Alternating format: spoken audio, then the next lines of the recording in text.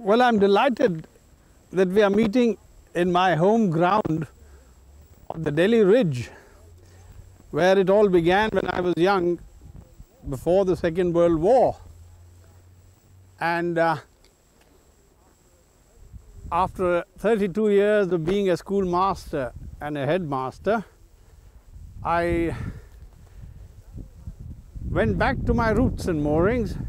and decided to spend the next 10 years of my life and the life of our nation working towards a radical environmental transformation for the better, not only of the natural resource base and the natural heritage of India, but also the human heritage which I have been seeing as a headmaster and a school teacher deteriorating in matters of ethics and values in spite of all that I've been able to do with my schools and old students who are doing good work, but what we need to do now is to replicate such idealism throughout India and maybe globally. And uh, the genesis of this was on the Delhi Ridge, which is in certain parts still very well protected, though there is some encroachment and a bit of decimation here and there the Delhi administration and the central government with the help of NGOs and I run one of them, the Society for the Conservation of the Delhi Ridge and the Yamuna, uh, have been uh, doing a lot of good work and we in our own way in a low profile have been helping them, particularly in regard to prevention of encroachment on the Delhi region, the cleaning up of the Yamuna which as you know has been taken up by the present Minister of Environment and the Government of India very seriously. For almost a decade as a schoolmaster at the Doon School, Dehradun in 1958, I worked with the Wildlife Preservation Society of India which I had helped to found as editor of Cheetal, the journal of the society which is still being published and became involved as a headmaster for 22 years, rector St. Paul School, Darjeeling, Air Force School, Subroto Park, Army Public School, Dhaula Kuan, and finally managed to decide to set aside the next 10 years of my life in a, an effort to bring together all my old students and friends and colleagues and the whole country together into a radical environmental and human transformation of values because we have been losing out over the last 40 years, not only in terms of forest and natural heritage, but also in terms of the absolutely unique human values of India. Whether it is the tribals in Chand Chandrapur in Orissa, or the Gonds in the Bhils in Gujarat and Madhya Pradesh, or the Konds in Andhra Pradesh, or the tribes and indigenous peoples in Assam or anywhere else in India. There has been a change because of exploitation by the process of development and by the people who were generally the elite, affluent people who took full advantage of this process of development. We must now stabilize this process of development to reconcile it with environmental conservation and human values as well as expedite the process of economic and human resource development and industrialization. And uh, that is well, that was the genesis. That was the genesis of my oath in 1989-90, which began with the conceptualization and the starting of this Journal of Sustainable Development, the International Quarterly Journal of Sustainable Development, as a forum of global environmental conservation and development we have published three issues now. One was for the special Earth Summit issue of the United Nations Conference on Environment and Development at Rio de Janeiro, where I was able to present it to over a thousand heads of state, government, ministers of environment, heads of delegations and environmentalists. And for the first time from the third world developing countries of the South, we have a journal which matches the international caliber of nearly 50 such journals from Europe and America and Japan. And uh, this is what I have used as a starting point, but what we are doing also is bringing together NGOs, non-governmental organizations and stimulating and cooperating with government departments and officials amongst whom there is a lot of idealism which is not often appreciated. Whether it is in the field of educational policies, particularly at school level, or in the higher education policies, or in economic and human resource development, environmental controls and conservation, I think we have a unique statutory base where all the laws are in position, the rule making powers have been delegated though we are not fully utilizing them and it is for us the citizens of India,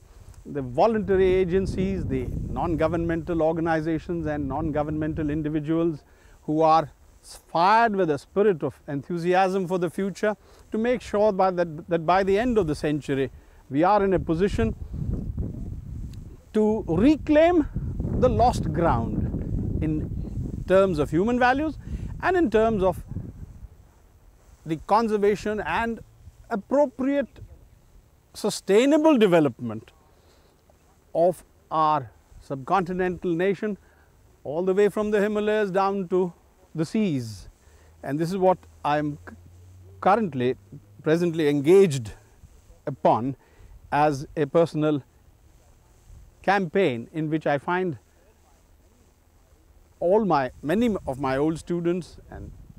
friends are joining. It is almost like a watershed movement in India, which will finally end up by cleansing even the body politic, because I have great faith and optimism in the ability of Indians generally whether they are very poor, deprived and underprivileged or the elite affluent groups who have cornered most of the advantages of development to reconcile these problems, to reconcile these disparities through a process of give and take, a process of a little sacrifice and a renunciation on the part of the elite and the affluent and dedicated cooperative work by those who do not have access to the levers of decision making and power. This quarterly International Journal of Sustainable Development from New Delhi launched in October 1991. What I find very satisfying about the work we have been able to do with a lot of sacrifice and a lot of hassles and struggles, both financial and editorial, about the quarterly International Journal of Sustainable Development from New Delhi, which was launched in October 1991, is that we have an editorial board and an international editorial council which is genuinely and authentically international. For example, we have Dr. Margarita de Botero of the Green University from Colombia, we have um, Jacques Bugnicourt from Senegal, and we have Kanakmani Dixit from Nepal, and Professor Johan Galtung, the Nobel laureate from Norway, Dr. Gennady Golubev from the USSR, as it was, and uh, Professor Hu Zhenyu from China, and Jonathan King and her Excellency Pera Wells from Australia, Mechai Viravaidya from Thailand, and Dr. Jonas Salk from the USA, Dr. Swaminathan from India, and so on. Even the contributors to the various issues of the journal have been people like Mustafa Tolba and Maurice Strong and Robert Goodland and Herman Daly, who used to be totally um, in favor of the steady state economics have I think uh, incorporated into their thinking things like sustainable development in the World Bank which is very useful for India and the third world developing countries of the south. And, and we have people like Thomas Tietenberg who is a, a, pioneer in the economic incentives and the quest for sustainable development. And uh, Jeffrey McNeely, the Chief Conservation Officer of the International Union for the Conservation of Nature and Natural Resources in Switzerland. and Bindu Lohani from the Asian Development Bank, Ashish Kothari, Shekhar Singh and Kulan Amin from India and uh, Johan Galtung is written for us. So have the Anil Agarwal and Sunita Narain team on global warming and um, Jyoti and Kirit Parikh on the role of unsustainable consumption patterns and population in global environmental stress and uh, Samar Singh from our own ministry on people's participation in forest management, Mechai Viravaidya in the Thai Business Initiative in Rural Development, sharing gains while improving productivity. Now, this is the kind of uh, contributor we have been able to attract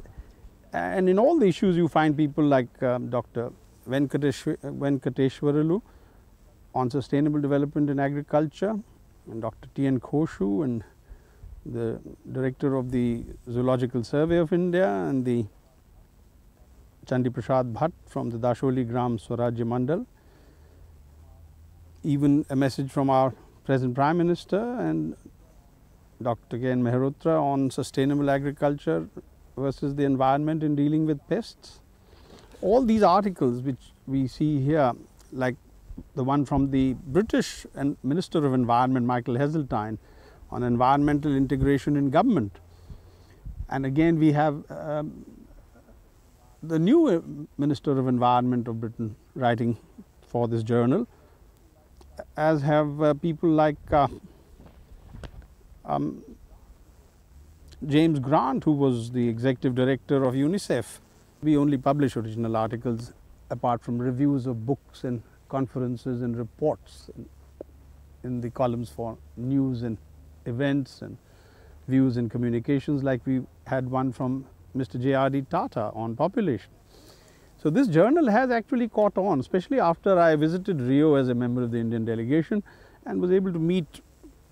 a very large number of heads of government and state and ministers of environment and heads of delegations and environmentalists and scientists at the UNCED. I'm afraid I didn't have much time to spend at the global forum because that was more of a carnival spirit but we did have interaction with the serious NGOs around the world and uh, that interaction is the bread and butter of this journal because the cir circulation is now beginning to pick up. People are writing from all over the world asking for subscriptions to this journal and copies of the journal and we will have to increase our print run though at the moment we still continue to have financial deficits. I do not think there is any other journal in the third world which can match the caliber of these European and American journals which are very good, but they are then very highly funded. Whereas ours is uh, really on a shoestring budget and we get support not from one but 20 different sources on a very, very token and modest scale. And I think that is the way we should continue with this journal because it should never become anything more than an academic semi-popular international journal on sustainable development.